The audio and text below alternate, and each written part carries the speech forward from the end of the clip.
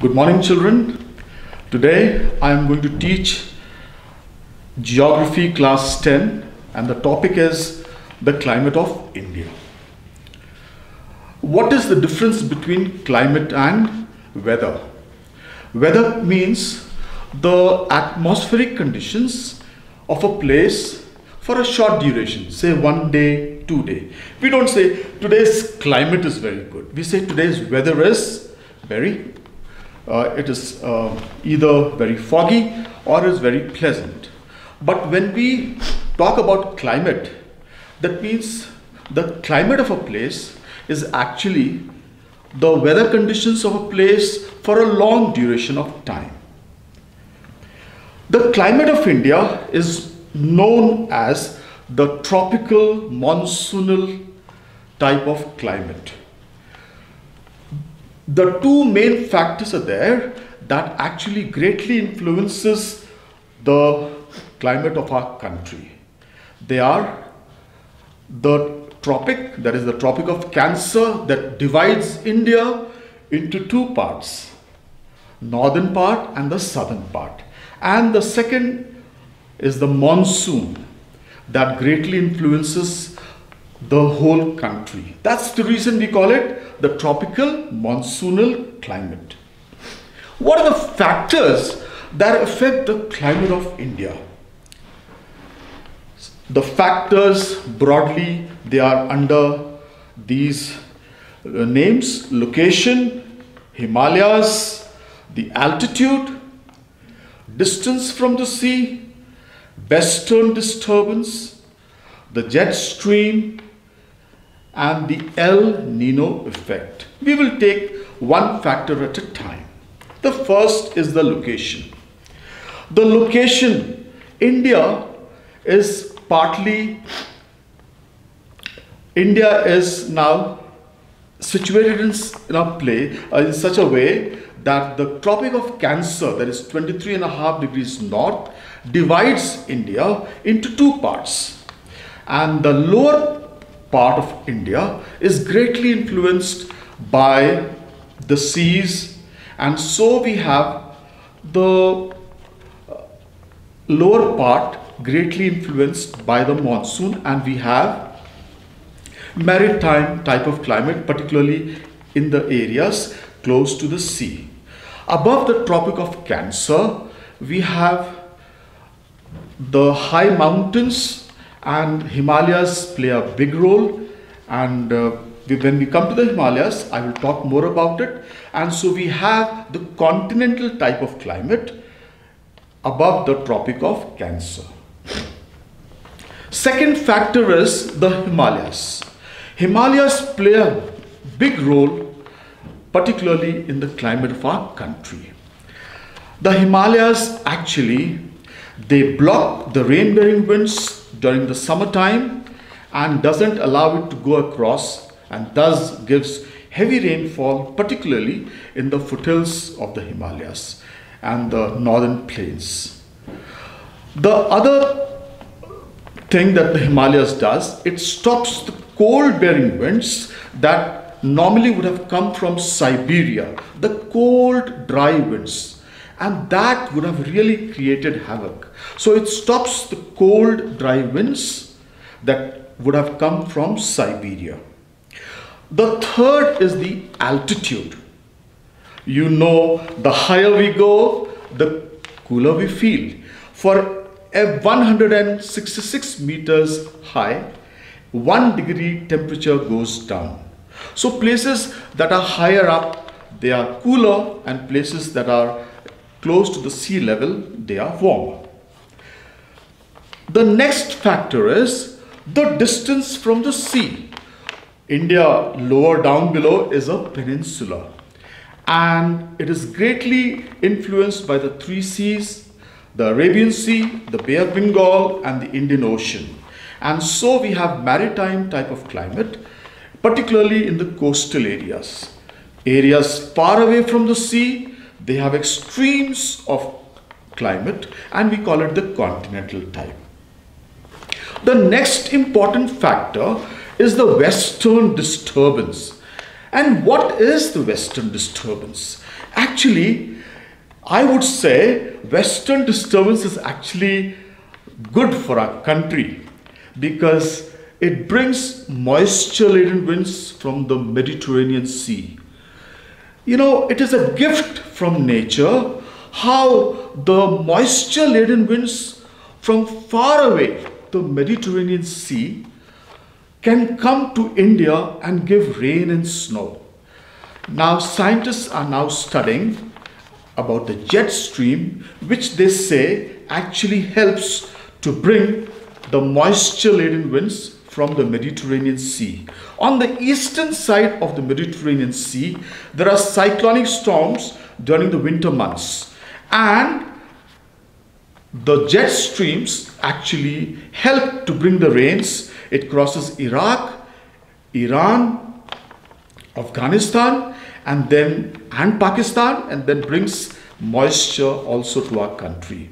It gives snow in the upper regions and good rain up to Punjab and Haryana for the winter crops.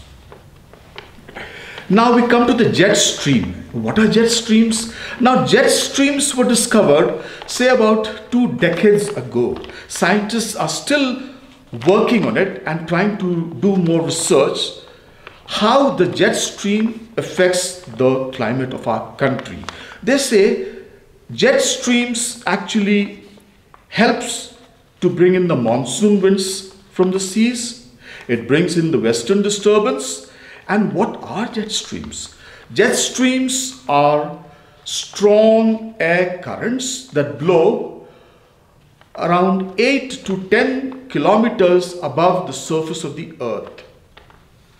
And these jet streams, uh, they are the western jet stream that blow over the northern plains during the winter time. And they bring the moisture laden winds from the Mediterranean Sea. The eastern jet stream, they bring the tropical depressions to India. The next factor is called the El Nino effect. What is the meaning of El Nino? El Nino actually means baby Christ. Now this phenomenon occurs particularly during the Christmas time, so they have named it El Nino. What happens the cold Peru current, you know, they are actually the cold current, but once in five, six years, they become warm Peru current off the coast of Peru and it increases the temperature of the Pacific Ocean by about 10 degrees. When that happens, the whole world's climatic conditions are disturbed. And as a result, India is also badly affected. All the famine that occurred in India, most of the famines occurred particularly during the time when the El Nino effect was there. And scientists are still working on it to find out how the cold Peru current changes to warm Peru current. When the temperature of the Pacific Ocean increases by 10 degrees, it actually pulls the moisture laden winds of the monsoon towards Africa and we get a bad monsoon. Our monsoon is weak and that affects the economy of our country. Now this is about the factors affecting the climate of India. India, the seasons are broadly divided into four we have the hot dry season, the rainy season, the season of the retreating monsoon and the cold season. Now before I go into each of these seasons children, I want to talk about the stormy weather during the hot dry season. Hot dry season, the sun is actually in the Tropic of Cancer and the temperature is very high. Temperature very high means very, very high. Low pressure is created over the Indian subcontinent and Thar Desert, Chota Nagpur belt, there is very, it's very, very hot. people actually suffer. You know, the rivers, the streams dry up, and people are waiting for the rainy season to come. And the temperature goes up to about 40 to 45 degrees or up to 50 degrees in the Thar Desert area, Chota Nagpur Belt area. And this actually occurs from March up to May and sometimes it extends to June. And actually the hot dry season at the end of that it brings the rain rains which is much awaited. But during this hot dry season the there are stormy weather in the Indian subcontinent and some of the local storms that we need to know about are the Kal Baisakhi, the Loo and the Mango Shower. Kal Baisakhi actually blows during April, May and it is called the calamity of the Baisakh. It is also known as the nor'westers. It is good for the tea crop in Assam and good for the jute and rice crop in West Bengal.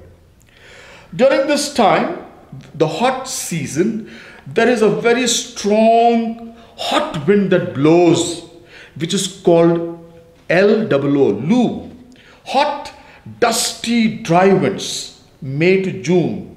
And normally during this time, people don't come out of the homes during the summertime, during the daytime, unless it is very important.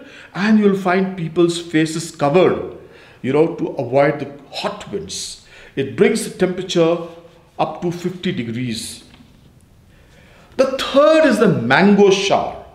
Now, mango shower, actually, this particular shower occurs in the southern part of our country. That is in Kerala and Karnataka. It is also known as the cherry blossom. And this is good for the mango crop in south, the tea crop and the coffee crop. Thank you children. We, I will continue with the next segment of the climate of India in the next video.